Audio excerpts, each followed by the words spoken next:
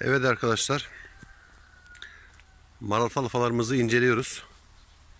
Bu bitki 55 günlük. Şu anda yaklaşık 2 metre boyunda.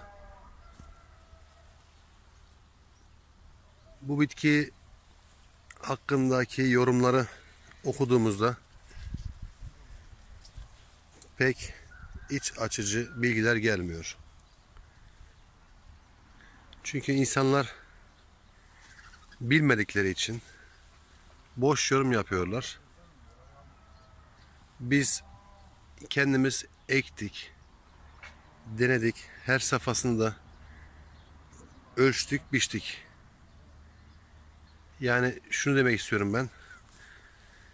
50-55 günde bir tohumu veyahut da başka bir bitkiyi yetiştirip hasat etmek hasat etme seviyesine getirmek a budur kardeşlerim.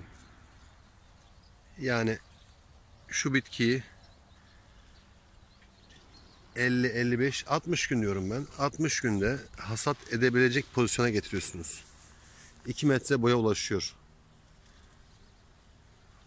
2 ayda bir biçebilirsiniz.